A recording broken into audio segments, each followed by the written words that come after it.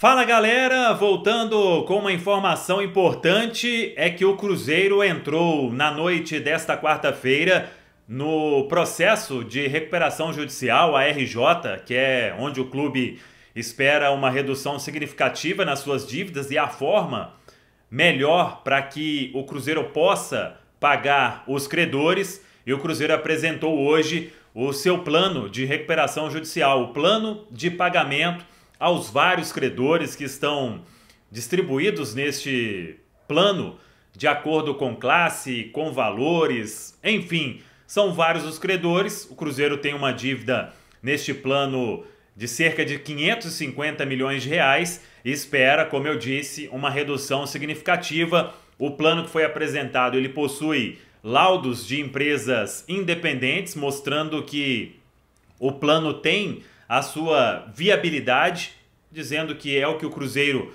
consegue no momento para quitar as suas dívidas e que a justiça possa permitir a recuperação judicial do Cruzeiro de acordo com o que permite a lei. Eu tentei resumir aqui e prometo ao longo dos próximos dias trazer especialistas para explicar, porque é um tema muito complexo.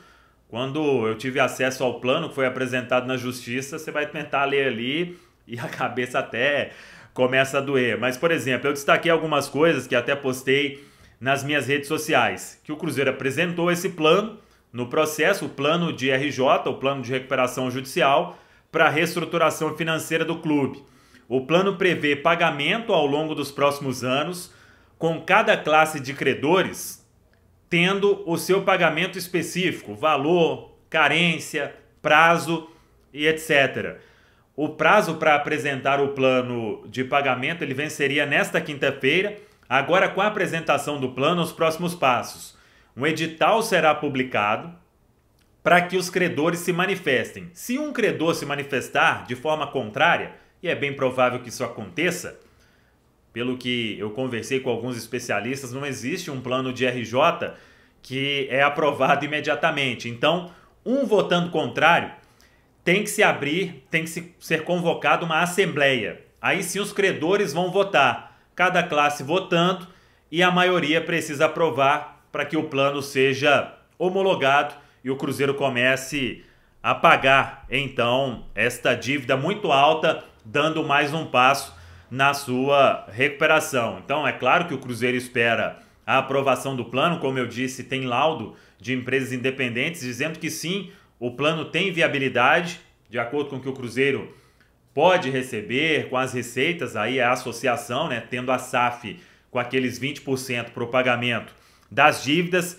É uma dívida, como eu disse, na casa de 550 milhões de reais e que o clube espera uma redução significativa. Um outro detalhe é que o Cruzeiro ele inclui neste plano o credor CNRD, que é a Câmara Nacional de Resolução de Disputa. Se não me engano, o Cruzeiro nesta CNRD tem uma dívida aí de cerca de 70, 80 milhões de reais com clubes, com jogadores, enfim. É uma dívida que tem impacto esportivo.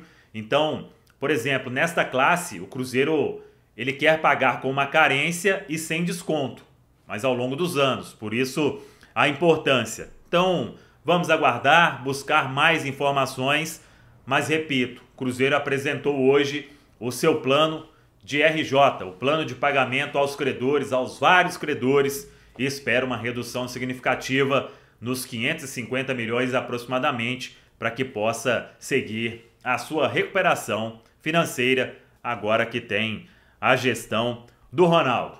Tá falado, pessoal? Um abraço, até a próxima. Vamos que vamos!